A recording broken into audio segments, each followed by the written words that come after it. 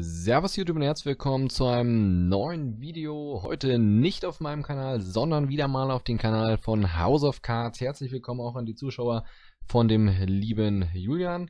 Mein Name ist auch Julian. Ich hatte schon mal ein Gastvideo hier mit einem äh, Blue Eyes Deck Profile. Vielleicht haben das einige von euch schon gesehen und vielleicht können sich ein paar auch noch dran erinnern. Ich möchte euch heute mal ein bisschen die neue Version von Yu-Gi-Oh! Pro 2 vorstellen und ich würde sagen, wir quatschen da gar nicht so lange rum. Wir starten direkt mal mit dem Duell. Ich habe das Ganze natürlich hier ein bisschen äh, angepasst, also hier, das wollen wir nicht machen. Äh, Online-Duell wollen wir machen und da gehen wir einfach nur auf Join Game. Mehr muss man gar nicht machen. Da kann ich hier mein Deck auswählen, habe mir meinen Avatar, da setze ich dann einen Haken und ähm, dann muss man quasi warten, bis ein Spieler nachjoint und da kann man dann einfach nur auf den Start-Button drücken und schon ist man letztendlich im Spiel drinne. Und da joint in dem Fall jetzt hier auch schon ein Gegner der auch sofort seinen Haken setzt. Das heißt, wir können das Spiel starten und hier haben wir dieses Steinschere Papier. Äh, ein bisschen übersichtlicher und besser äh, designt als früher. Und wir wollen auf jeden Fall mal das Spiel beginnen.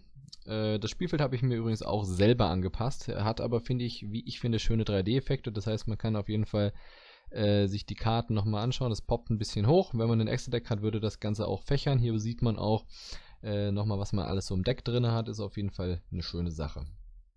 So, fangen wir mal mit dem Spiel an auf jeden Fall. Wir aktivieren erstmal unsere tolle Zauberkarte. Äh, darauf chainen wir dann und der Gegner gibt in diesem Fall hier dann direkt auf. Das heißt, ähm, ja, hier kann ich euch an dieser Stelle die Effekte leider nicht wirklich gut zeigen, aber ich würde sagen, wir starten dann auch direkt das nächste Spiel. Wie ihr seht, hier wird auch direkt nachgejoint, geht ruckzuck. Ähm, ja, so, wir gewinnen wieder. Ich möchte wieder anfangen. Ähm, was das mit den Aufgeben angeht, ja, das hat man leider immer wieder, egal auf welcher Plattform man spielt, ob das Death Pro ist oder was auch immer. Aber wie auch immer, wir starten hier erstmal mit einem Pot of Desires. Mal schauen, ob da eine Ash auf der Hand ist oder ob der Effekt durchkommt. Kommt durch, wunderbar. Ähm, macht es allerdings trotzdem nicht wirklich besser. Die Hand ist jetzt echt nicht die beste für True Draco. Setzen wir das einfach mal, versuchen ein bisschen zu bluffen und geben dann erstmal den Gegner ab. Der, also den 3D-Effekt, den kann ich euch jetzt hier mal zeigen. Theoretisch ähm, sieht man hier meine verwandten Karten. Kann ich mir hier schön als Fächer anzeigen lassen. In dem Fall war das auch echt bitter, was hier so äh, verbannt wurde, aber ja, kann man nichts ändern dran. Ansonsten, äh, Lebenspunkte werden oben rechts angezeigt und ähm, es gibt auch äh, ganz wichtig eine Neuerung und zwar Hologramme. Das werdet ihr auf jeden Fall noch sehen, sobald ähm, ein Monster sich auf dem Spielfeld befindet. Also das ist so ein bisschen hologrammartig gemacht. Da gab es früher auch mal ein Gameboy-Spiel, da sah das ähnlich aus. Aber ich finde es ganz schön. Eine, ein schönes neues Feature kann man allerdings auch deaktivieren. Aber ich habe mich jetzt aktuell entschieden, es äh, aktiviert zu lassen. Wie ihr seht hier, der Kepler sieht meiner Meinung nach ziemlich cool aus, die Karte. Ähm, da wollen wir jetzt allerdings mal ein Max C drauf aktivieren. Hier nochmal der schöne Kartenfächer, den was weiteres aktivieren wir nicht drauf. So, was macht unser Herr da? Die aktivieren wir auf jeden Fall nicht da drauf. Er aktiviert seinen dunklen Vertrag. Gegen DDD spielen wir im Übrigen, falls ich das noch nicht erwähnt hatte. Ähm, die Karte schießen wir direkt mal mit unserem Oger weg. Man kann sich dann seinen Friedhof auch wunderbar anschauen wenn man hier mal guckt. Also es ist sehr übersichtlich gestaltet, wie ich finde, und man sieht halt auch, äh, was ich cool finde, auf der linken Seite ähm, eigentlich alles, was bisher so in den äh, Friedhof gelandet ist von dir, vom Gegner und was auch in der Banish Zone so drin ist. So, der Gegner kann in dem Fall jetzt hier nicht mehr viel machen. Wir haben seine Plays ein bisschen zerstört. Ähm, dann würde ich sagen, setzen wir die hier mal und aktivieren dann für eine Tributbeschwörung vom Gegner. Und holen sie jetzt den Masterpiece. Selekten einmal die und die vom Gegner. Das ist sehr schön. Und das heißt jetzt gegen Fallen immun. Ähm, das aktivieren wir auf jeden Fall. Aktivieren wir das oder aktivieren wir das nicht? Ähm, da muss ich tatsächlich mal schauen. Nein, aktivieren wir nicht.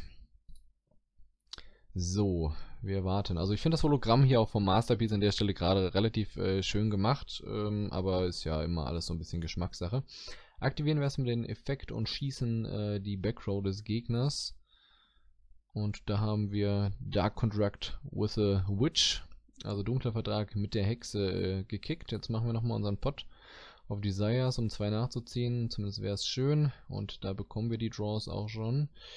Äh, die Normal Summon hatten wir theoretisch schon, deswegen können wir das nicht mehr machen. Aber ich finde das auch den Effekt hier, man kann sich jederzeit seine Backrow wieder anschauen, das ist eine sehr gute Sache. Ähm, dann gehen wir mal in die Battle Phase und gehen mit 2950 direkt. Und ich hoffe, die gehen durch. Jawohl. Und das ist übrigens auch ein schöner neuer Effekt, wenn man Lebenspunkte verliert. Und ja, dann geben wir mal den Gegner ab. Ähm, was ich auch sehr interessant finde, ist, ähm, ja, dass überhaupt mal ein Spiel äh, in Yu-Gi-Oh! existiert letztendlich, wo man das also quasi gestartet wird wie ein normales Computerspiel. Also wenn man das Spiel startet, hat man tatsächlich einen kompletten Black Screen, ähm, wie bei jedem anderen Game, was man äh, spielt. So, wir aktivieren jetzt auf jeden Fall erstmal hier unsere Falle darauf und ähm, wollen uns dann den Masterpiece letztendlich wiederholen. So, aber den Chain, den nehmen wir uns noch nicht, damit warten wir noch eine Sekunde.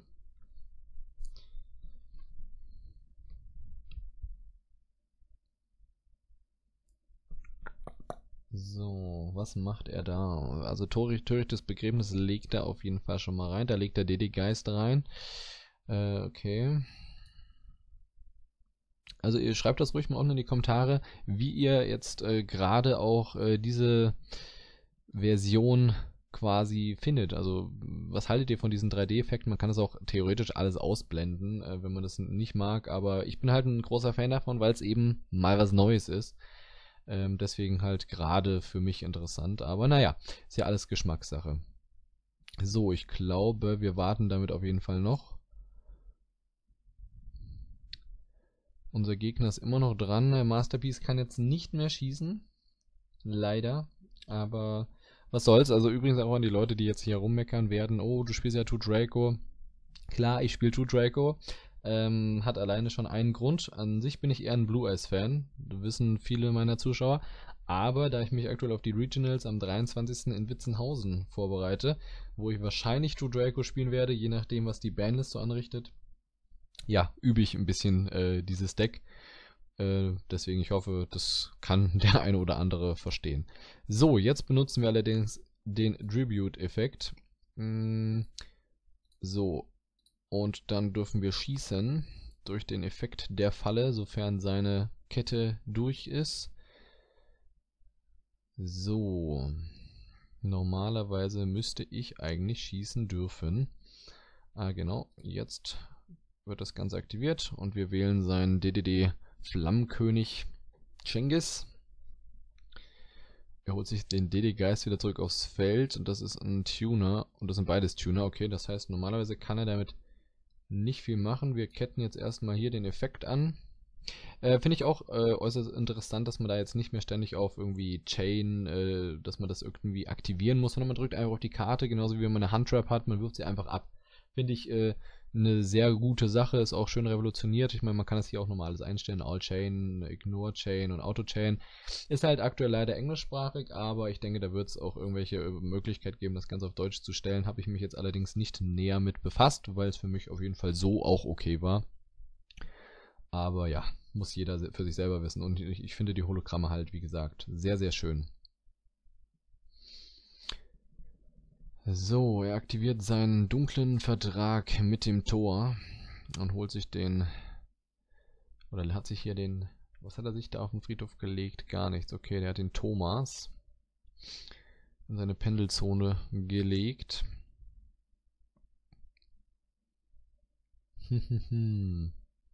Wichtig bei der ganzen Sache ähm, ist natürlich alles schon aufs, aufs Link-Format ausgerichtet. Wie ihr seht, keine Pendelzonen mehr. Link-Zonen haben wir hier oben. Auch wenn man die hier nicht so gut sieht. Ich glaube, er wird, ja, was wird er versuchen zu gehen aktuell? Noch kann ich mir das Ganze nicht wirklich erklären. Aber da wird, äh, naja, warten wir mal ab. Oh, ein Decode Talker. Okay, da haben wir zum Beispiel auch schon eins der angesprochenen Link-Monster jetzt mal auf dem Feld mit 2800 ATK, weil es eben, ja, da habe ich mein Monster nicht gerade günstig gelegt, äh, aber so ist es halt. Äh, ich booste quasi mit meinen äh, Mädchen hier seinen Masterpiece, äh, Masterpiece sage ich schon, seinen Decode Talker. Ähm, das heißt, normalerweise müsste er den jetzt angreifen und zerstören. Ich glaube, hat er noch andere Optionen? Nee, hat er nicht. Er geht in die Endphase. Okay, das, das finde ich ein bisschen komisch. Warum macht er das? Ähm, wir machen auf jeden Fall eine Normalbeschwörung. Holen uns jetzt einen Masterpiece der Moon ist gegen Monster. Und was zerstören wir? Sein Decode Talker würde ich sagen. Gehen dann einfach mal in die Battle Phase. Ist zwar ein bisschen riskant, was ich hier gemacht habe, weil der eben nur immun gegen Monster ist. Aber wir spekulieren einfach mal darauf, dass er jetzt nicht irgendwie noch einen Darkhold oder so hat. Ein hat er schon gespielt und gehen dann direkt wieder in die Endphase. Haben wir noch was zum Schießen hier? Wir haben keinen, keine Möglichkeit mehr zum Schießen. Das ist schade. Er muss 1000 Lebenspunkte zahlen, weil er, äh, ja, für diese, für die Kosten der Karte, weil er kein DDD-Monster auf dem Feld hat. Das heißt, er hat noch 1100 Lebenspunkte aktuell. Jetzt spielt er den DD-Wirbelschleim wahrscheinlich, den hat er sich auf die Hand gesucht. Den wird er rauspendeln, nehme ich an. Mal gucken, was er macht. Der Wirbelschleim kommt jetzt auf jeden Fall erstmal. Okay interessiert uns das aktuell? Das Problem ist, wir können es auf jeden Fall nicht aufhalten, weil wir eben keinen Schusseffekt haben. Da liegt der Cengiz jetzt auf jeden Fall schon mal. So, DD Geist kommt hinterher. Ich glaube, dass er versucht auf jeden Fall wahrscheinlich auf den Crystal Ring zu gehen. Das wäre ein sehr starkes Out gegen mich, weil ich weiß, ich weiß gerade aktuell gar nicht, ob ich da noch eine Möglichkeit habe. Ich habe nämlich den, das meine ich, was eben ein bisschen riskant war.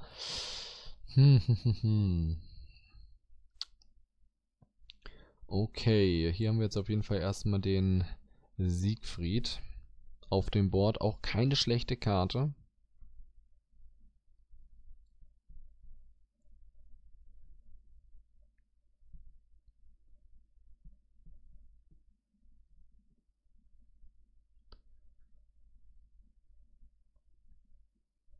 Hm.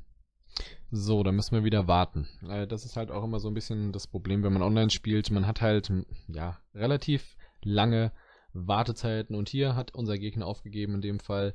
Ähm, warum kann ich mir nicht erklären? Vielleicht hat er sich eine falsche Combo zusammengespielt, wo er kein Out mehr gegen Masterpiece hatte oder weil er dachte, ich kann noch schießen.